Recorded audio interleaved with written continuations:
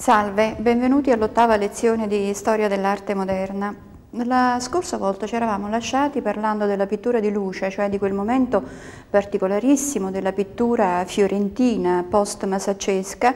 in cui si accentua la ricerca sui valori eh, della, del colore intriso di luce, quell'amicizia dei colori di cui parlava Leon Battista Alberti nel suo trattato del De Pictura.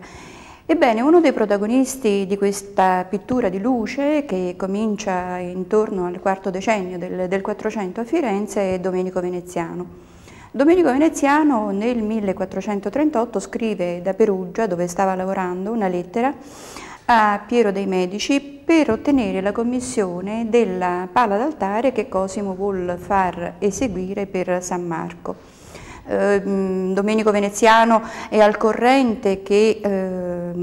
a Firenze ci sono pittori del calibro di un Filippo Lippi e di un Beato Angelico e la commissione non va al Veneziano, va all'Angelico. Però nel 1439 noi troviamo eh, Vene eh, Domenico Veneziano al lavoro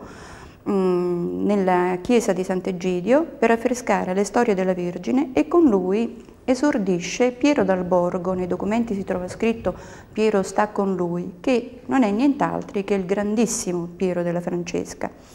Ora questi affreschi sono andati perduti, ci resta veramente poco che non ci consente di capire né quale fosse il momento di pittura al quale Domenico Veneziano era giunto, eh, né tantomeno di capire la formazione di, di Piero della Francesca. Eh, sappiamo dai documenti che per questi affreschi venne impiegata una notevole quantità di olio di lino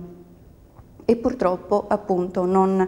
possiamo adoperarli per capire eh, diciamo, gli antefatti del, del, dello svolgimento della carriera di Piero della Francesca. Ora, mh, a Firenze, eh, intorno allo scadere di questo quarto decennio del secolo, tutta la prima fase sperimentativa per ciò che riguarda le ricerche sullo spazio, quindi le ricerche spazio-compositive, la prospettiva, Mm, il rapporto appunto con eh, la luce ed ancora eh, l'avvio del discorso sulla linea come contorno disegnativo, ecco tutte quante le varie strade mh, mm, si erano oh, già aperte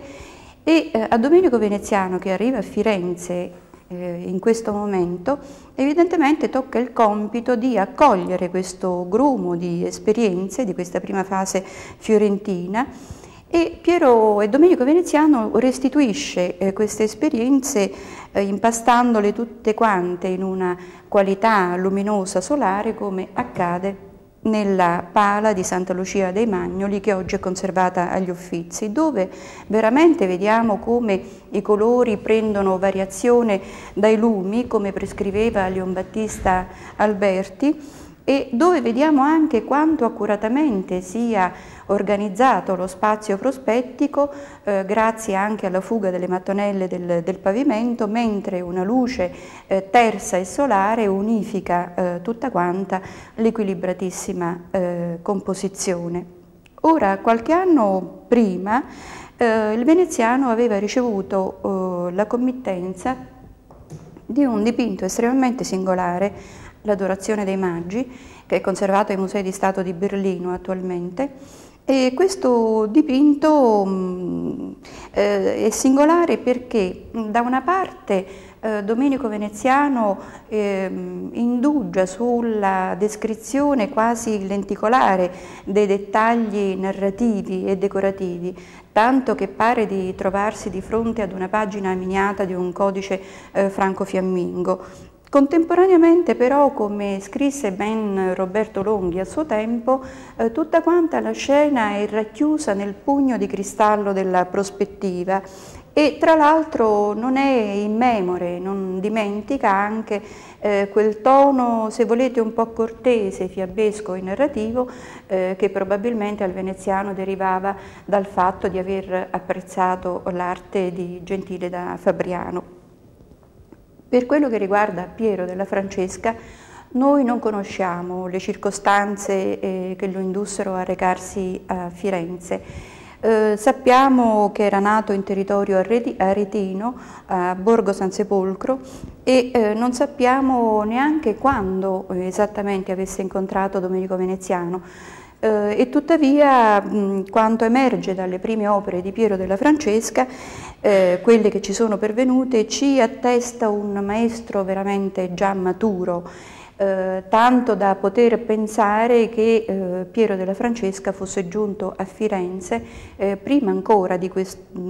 1439 di cui abbiamo parlato a proposito degli affreschi in Sant'Egidio. E tuttavia eh, Piero e Firenze restano estranei.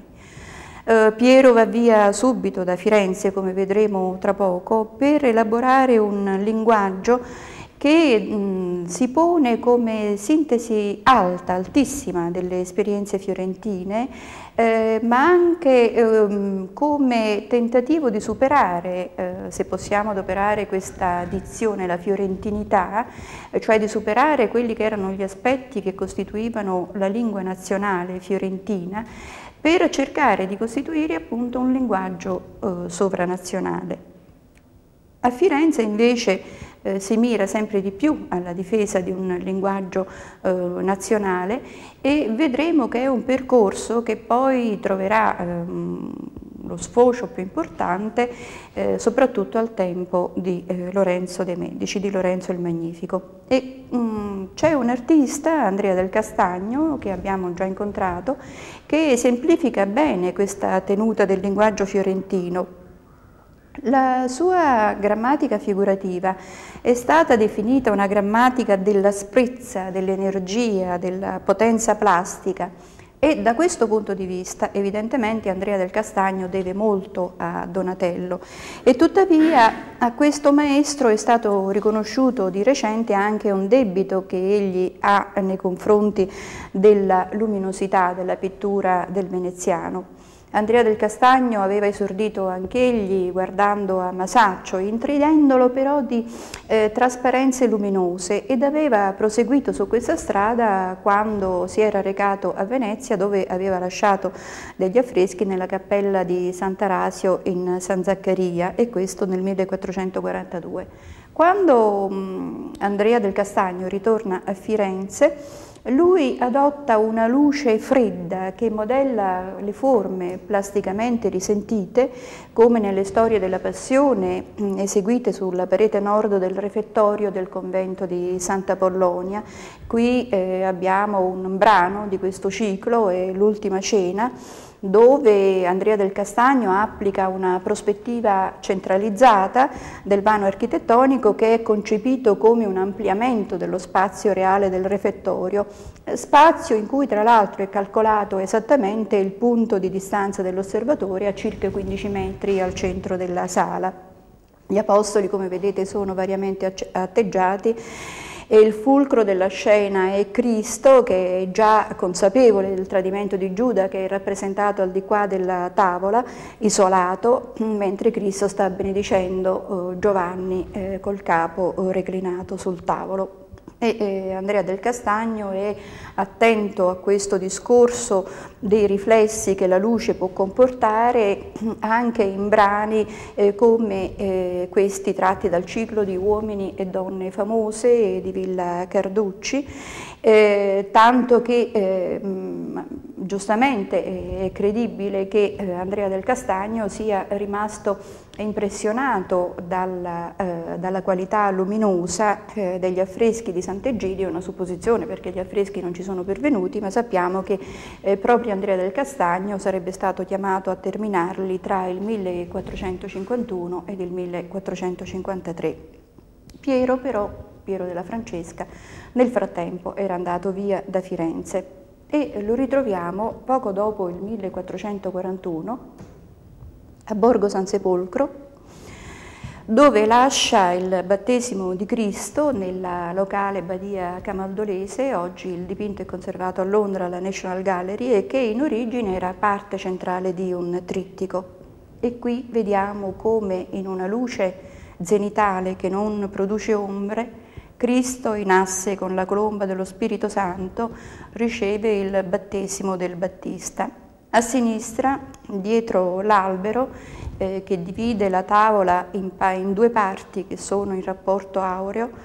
tre figure colonnari degli angeli assistono all'evento che ignora ogni aspetto contingente e che sembra appunto porsi in una dimensione senza tempo. Nel fiume, dalle acque immobili, si riflettono le vesti dei sacerdoti e tutto plana sullo sfondo di questa campagna aretina, la campagna che Piero della Francesca conosceva. Piero della Francesca ritorna a Borgo San Sepolcro nel 1445 quando incomincia il magnifico politico della misericordia per l'altare maggiore della omonima confraternita.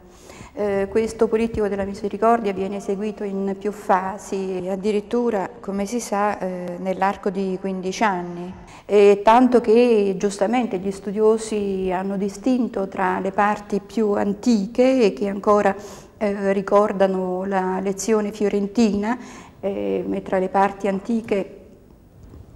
ci sono i santi Sebastiano e, e, Giovanni Battista che mostrano una solidità di impianto che è ancora eh, fortemente masaccesca eh, del masaccio degli affreschi della cappella Brancacci, mentre ecco qui abbiamo la parte centrale, proprio la Vergine della Misericordia che si presenta in asse eh, con l'asse centrale della composizione, turrita quasi come un idolo arcaico e che mostra anche una qualche attenzione alle preziosità fiamminghe in alcuni particolari, mm, cosa che ci sembra suggerire che a quest'epoca Piero della Francesca avesse già cominciato le sue prime frequentazioni urbinati. Ed infatti è forse durante questo primo, primo soggiorno urbinate che eh, Piero della Francesca eh, esegue la flagellazione di Cristo. Ecco, questa è una delle ipotesi che sono state fatte perché questo è un dipinto di cronologia molto controversa. Eh, per alcuni eh, si pone ancora all'interno degli anni 40, per altri invece all'interno del sesto decennio del secolo, cioè quando Piero ha cominciato già gli affreschi con le storie della Vera Croce nel coro della Basilica di, della Chiesa di San Francesco eh, ad Arezzo. E, ed è un dipinto un, che ha un significato estremamente complesso. Vediamo che eh, intanto è un'iconografia totalmente nuova perché eh, accoppia la flagellazione di Cristo sulla sinistra a questi tre personaggi sulla destra che sono stati variamente identificati. E proprio l'identificazione di questi tre personaggi, anche in rapporto alle vicende storiche che viveva contemporaneamente la, appunto la, la, la storia politica e religiosa del tempo, è stata oggetto di un dibattito veramente appassionato da parte di più di uno studioso, un dipinto celeberrimo di Piero della Francesca, per cui non conviene addentare addentrarci ora diciamo, su quelli che sono i significati eh, diciamo, iconografici del dipinto, anche se possiamo dire che le due scene sono soltanto, ecco, da un punto di vista figurativo, soltanto apparentemente distaccate tra di loro perché in realtà poi sono eh, unificate dal punto di vista spazio-compositivo dall'unità eh, prospettica, unità prospettica che ancora una volta eh, fonda su una ripartizione della scena in due parti che sono il rapporto rapporto aureo tra di loro. Ora in questo spazio eh, ciò che è evidente è eh, l'importanza assegnata all'architettura e questo ci fa pensare, possiamo guardare in maniera più ravvicinata, ci fa pensare appunto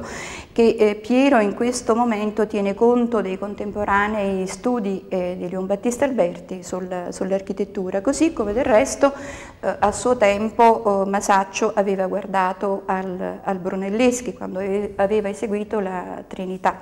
l'affresco con la Trinità. E qui in questa scena l'aria si presenta come nitida, cristallina, è una lucentezza mattinale che intride i colori tersi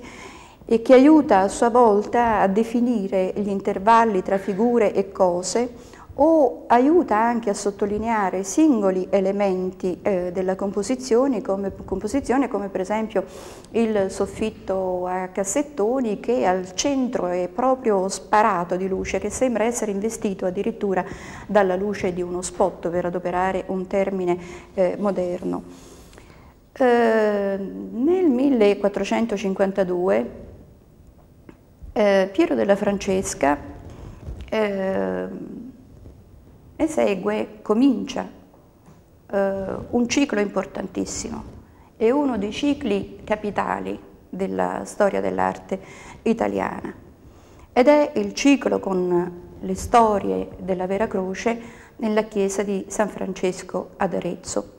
Eh, conosciamo la data di inizio di questo ciclo, appunto il 1452, perché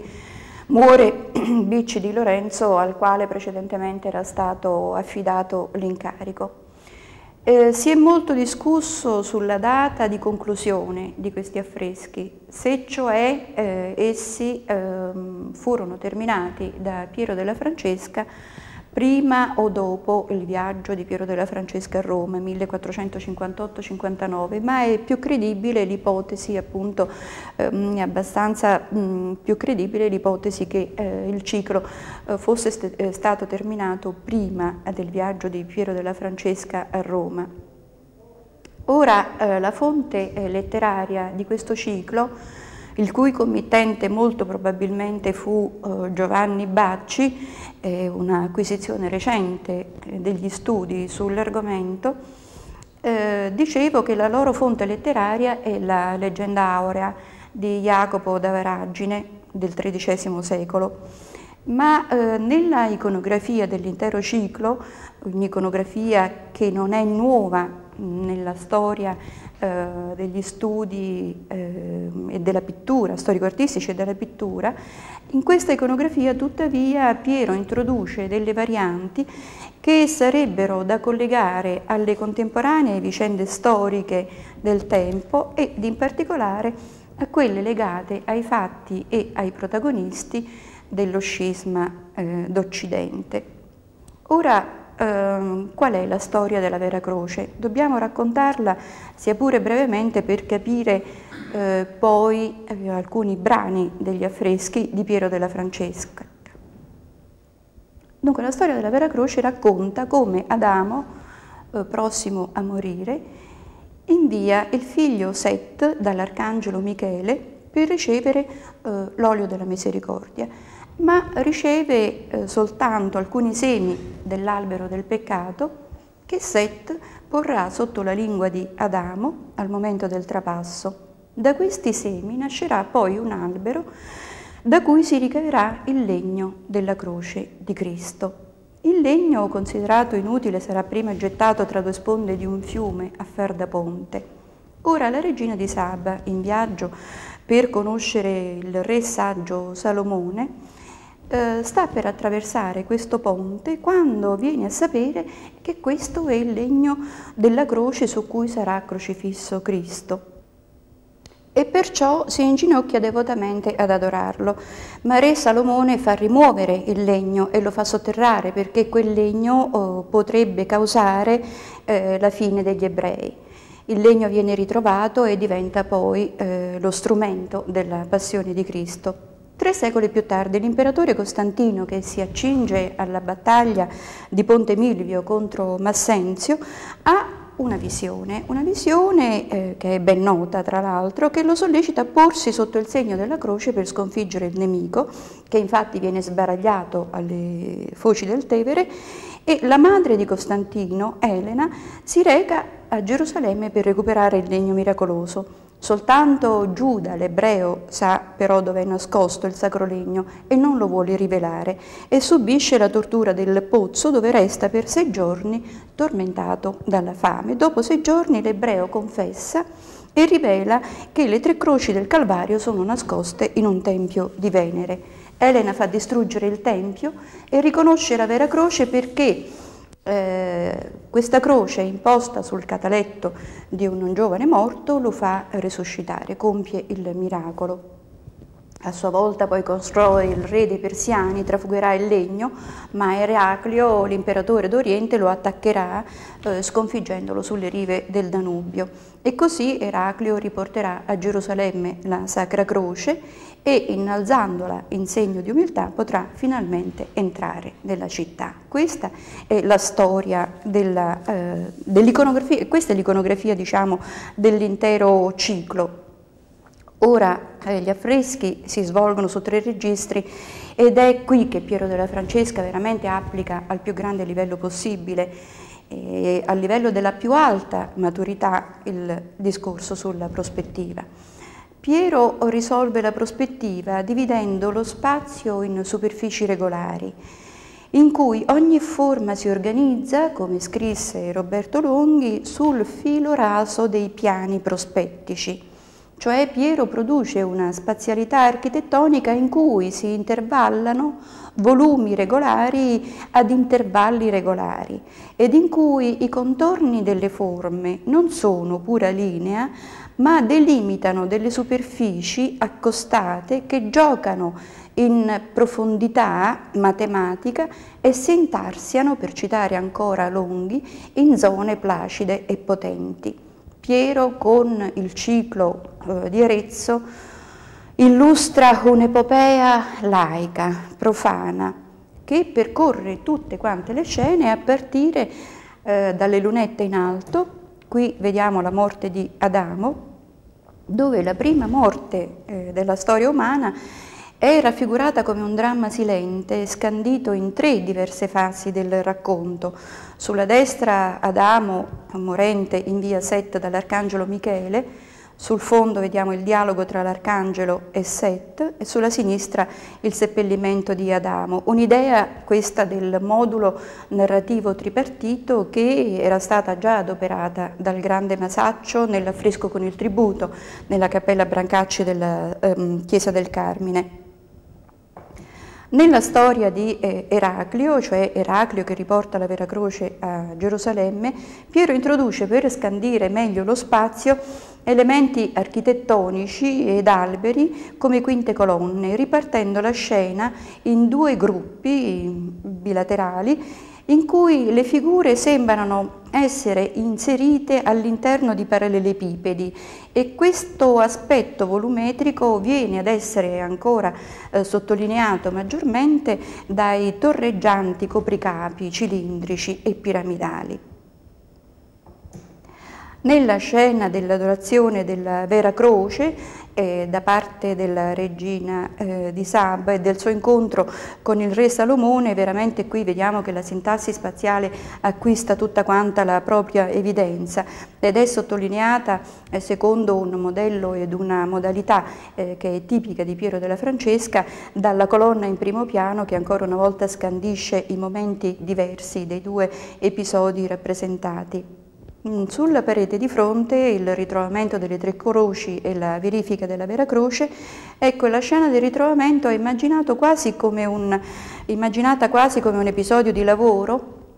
nei campi, eh, un lavoro svolto secondo gesti rituali, scabri, sullo sfondo di una Gerusalemme che altro non è che Arezzo, quasi per voler rendere quel senso di attualità che può avere la storia, anche la storia sacra. La verifica sulla destra è ambientata tra casamenti ed architetture, eh, quali si erano già visti in Masaccio ed anche in Alberti e racconta appunto il miracolo compiuto dal Sacro Legno che risuscita un giovane dalla sua lettiga.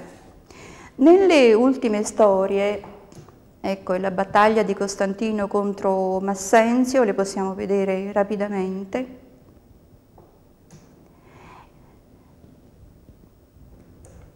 Eraclio eh, che combatte contro Cosroe e a destra c'è la decapitazione di Cosroe e ancora il sogno di Costantino eh, il momento in cui appunto Costantino, l'imperatore Costantino eh, viene invitato a porsi sotto la protezione della croce per distruggere e sconfiggere Massenzio, qui siamo di fronte davvero ad un capolavoro, tra l'altro dell'uso della luce e del notturno, tanto che in più di un libro si troverà scritto eh, che questo è uno dei primi notturni, o forse il notturno più importante a quest'epoca eh, dell'arte eh, moderna europea. È in questi affreschi di Piero della Francesca che prende avvio la pittura moderna, quella che finalmente fungerà da trade union tra eh, il nord e il sud dell'Italia. Qui vediamo ancora eh, l'Annunciazione, dove ancora Piero della Francesca adopera eh, il modulo appunto della colonna che bipartisce la scena e ehm,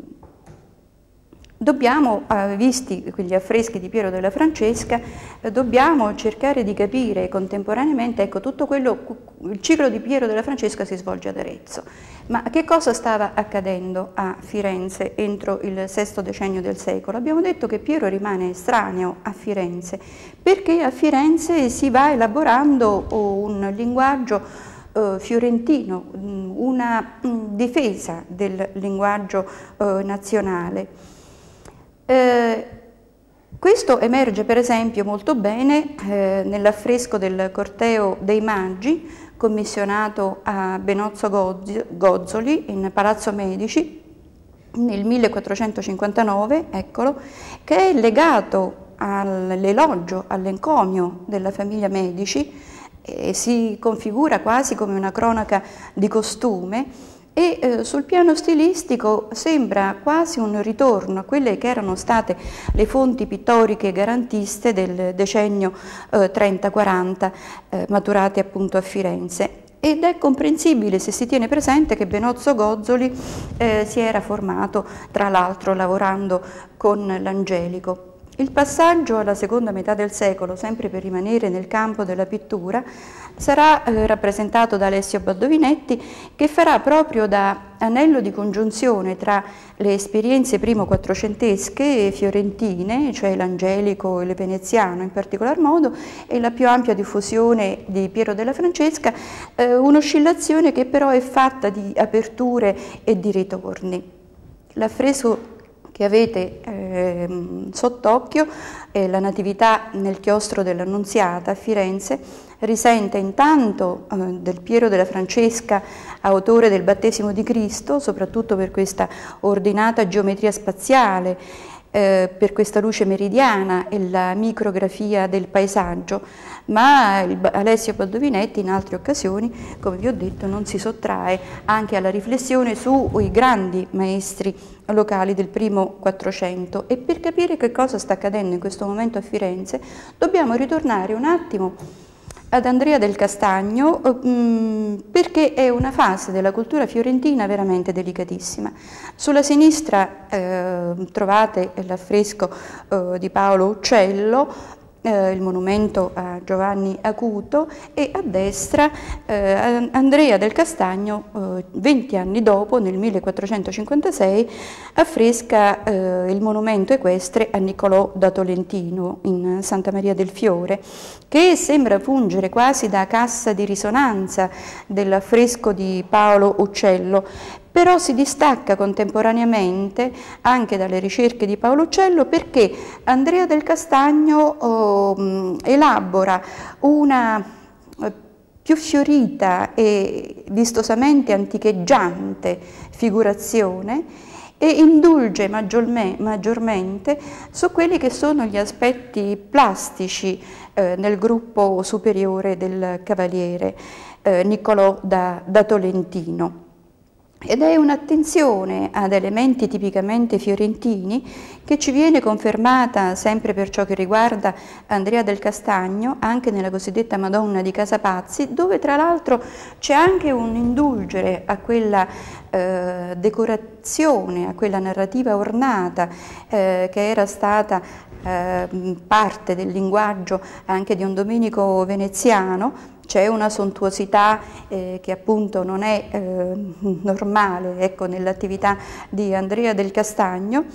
e probabilmente, ma ancora altri sarebbero stati gli sviluppi eh, di questo artista, mh, mm, che sono tra l'altro già presentiti nell'Assunzione della Vergine tra i santi Giuliano e Miniato, oggi nei musei di Stato di Berlino, che sembra aprire la strada, eh, se osserviamo soprattutto gli angeli, ad una conduzione della linea più movimentata, quale ritroveremo poi ancora nel pollaiolo, ma riesumare anche certi aspetti oggetti appunto ornati che sono propri del linguaggio eh, del veneziano. E eh, tutto questo quindi ancora nella linea fiorentina. Ma va capito perché? Perché? E perché i fiorentini eh, cercano di difendere eh, strenuamente eh, l'elaborazione di una propria identità eh, di stile. I fiorentini erano orgogliosi della loro nazione, dove per nazione noi intendiamo la città di Firenze. La qualità della rinascita fiorentina ed anche la precocità di questa rinascita rispetto ad altre parti d'Italia si erano collocate in circostanze eh, storiche e politiche di tutto rilievo. Intanto all'inizio del secolo eh, Firenze si era trovata a dover essere l'unico baluardo sul territorio italiano della libertà repubblicana contro le mire espansionistiche di Gian Galeazzo Visconti. Gian Galeazzo Visconti muore nel 1402, ma è un momento drammatico per la città di Firenze. Uscita vittoriosa da questi tentativi che erano stati operati dalla Corte di Milano, eh, Firenze aveva esteso il suo dominio eh, nei territori circostanti e infatti usciva dall'annessione di Pisa nel 1406, eh, di Cortona nell'11, di Livorno nel 21 e mentre a Pistoia fin dalla fine del 300 aveva inviato al governo della città dei propri podestà. Firenze aveva anche eh, forte la coscienza della propria identità nazionale eh, a partire già dall'inizio del secolo, come mh, mm, leggiamo nelle pagine della Laudatio Florentine Urbis eh, del grande umanista Leonardo Bruni, che mm, fu scritta nel 1401 e che eh, veramente risulta tutta quanta intrisa dell'esaltazione delle virtù repubblicane eh, del popolo fiorentino. E eh, anche la riscoperta dell'antichità classica di cui abbiamo parlato fu in effetti funzionale alla formazione di una nuova coscienza civile, non fu soltanto il repertorio da cui attingere per le arti figurative, anzi il mondo antico venne rivissuto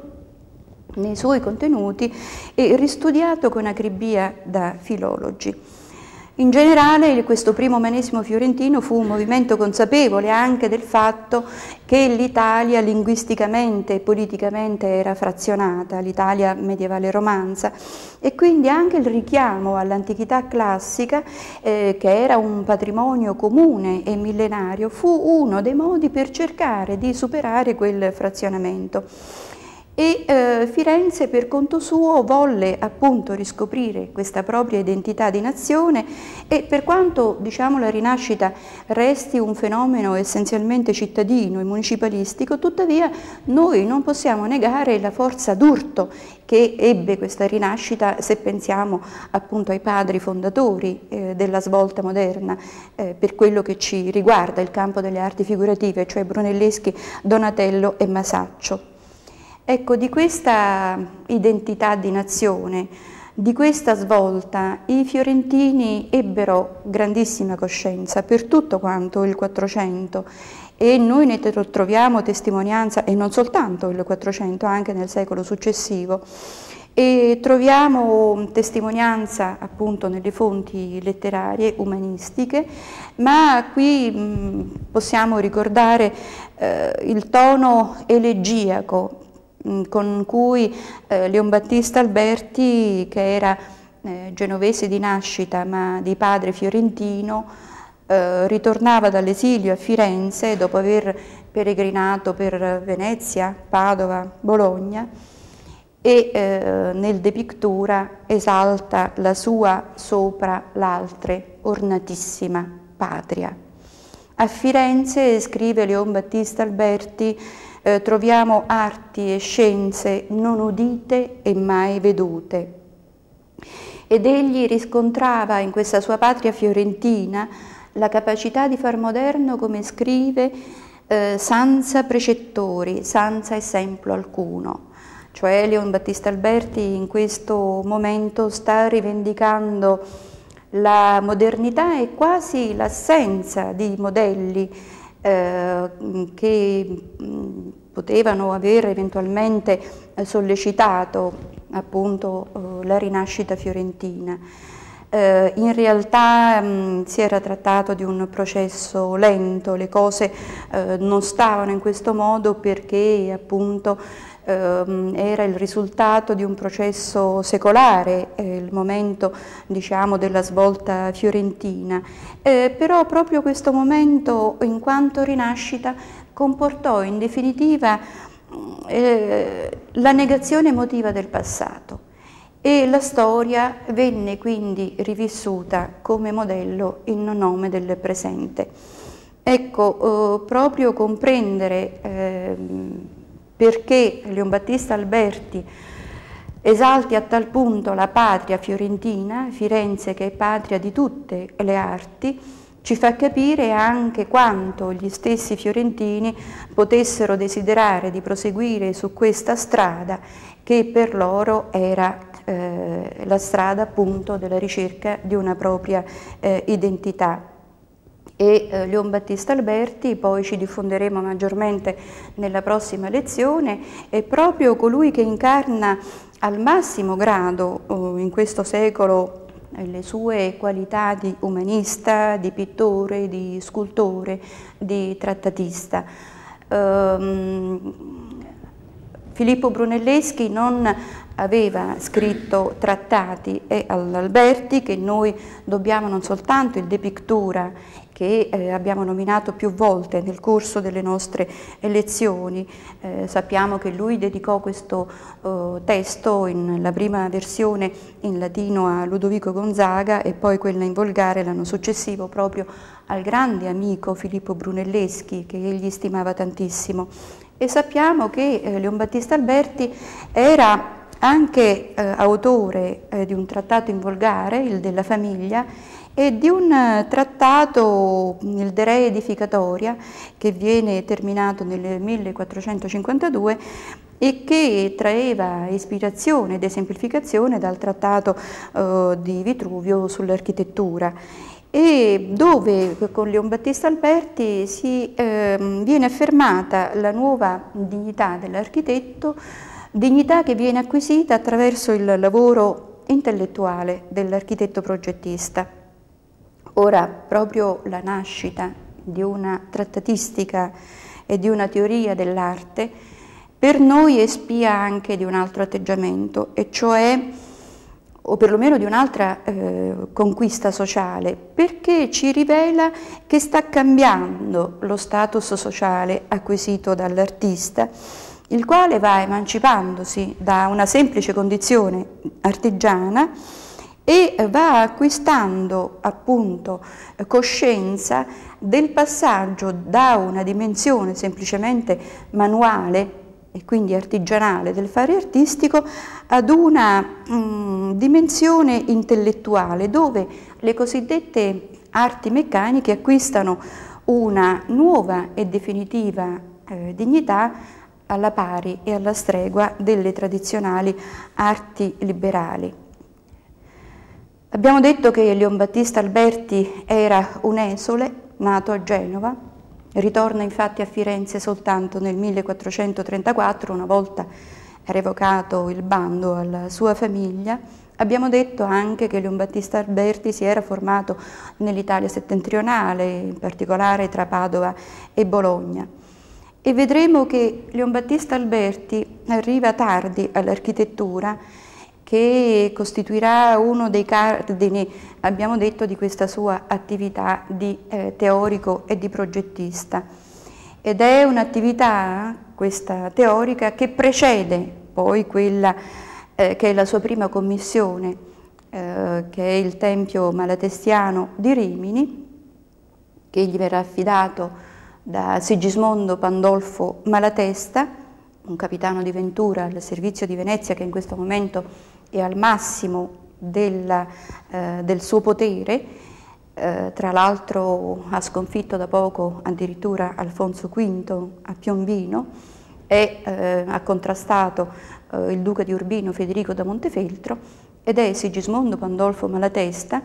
che affida appunto ad Alberti il, la costruzione del Tempio che esamineremo nella prossima lezione, ma va detto che è un momento importante, eh, questo non soltanto per quello che riguarda l'architettura, ma anche perché all'interno del Tempio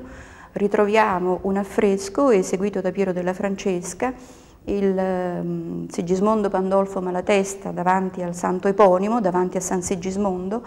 che ci fa capire bene quanto sia parallelo il eh, viaggio, il percorso in questa fase eh, tra Leon Battista Alberti e eh, Piero della Francesca. Di tutto questo parleremo eh, nella prossima lezione. Arrivederci e grazie.